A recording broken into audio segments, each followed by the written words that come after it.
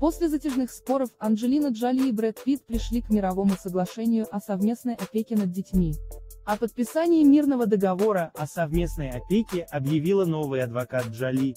Соглашение об опеке основано на рекомендациях специалистов по детскому психологическому состоянию и исключает рассмотрение дела в суде. Детали соглашения остаются конфиденциальными в интересах детей. Пока Пит получил чуть меньше 50% опеки, как бы странно это ни звучало. Заслужить равное с Анджелиной право воспитывать детей он сможет лишь после того, как будут урегулированы все финансовые вопросы и его семейный статус. То есть когда состоится развод. Но детали по назначению совместной опеки удивительны как стало известно, в первые несколько недель Пит должен пройти испытания.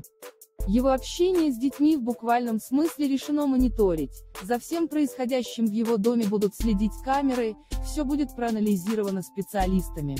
Только после этого дети смогут оставаться у отца на ночь. Но и тогда камеры не будут убраны.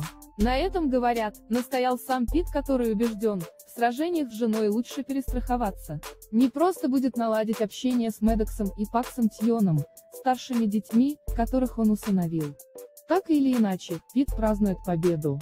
В конце концов, он получил совместную опеку, избежав затяжного официального судебного процесса.